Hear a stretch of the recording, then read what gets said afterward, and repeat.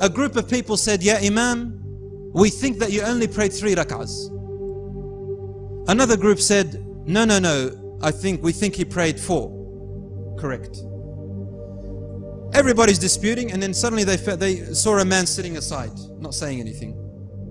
They asked him, Why aren't you saying anything? It looks like, you know, you, why don't you come in and, and, and talk? He looks at them very wisely, as if he knows everything. And confidently he says, He's prayed four. They said, Why are you so confident? He said, He prayed four. I am definite, Wallah, he prayed four.